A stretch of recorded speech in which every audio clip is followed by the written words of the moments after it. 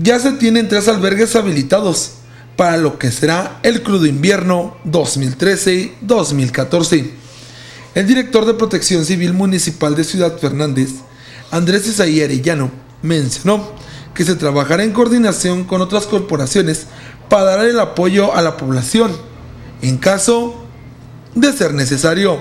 Por parte de Protección Civil de aquí de Ciudad Fernández estamos este, tomando algunas medidas para la población específicas, eh, ya que se estarán presentando, bueno, ya está presentando el Frente Frío 14, ya está también el 15, entonces pues vamos a estar muy al pendiente en los lugares alejados de aquí del municipio de Ciudad Fernández.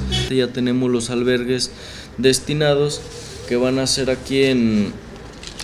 Tenemos tres. Uno es en la VR, la Unidad Básica de Rehabilitación, se encuentra en Leona Vicario.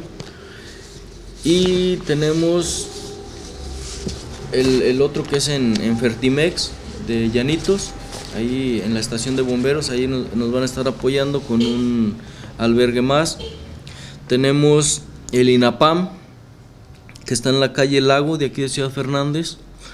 El, ahí vamos a estar también habilitando pues este este albergue. Sí, mira, como lo repito, vamos, voy a estar en coordinación con Seguridad Pública.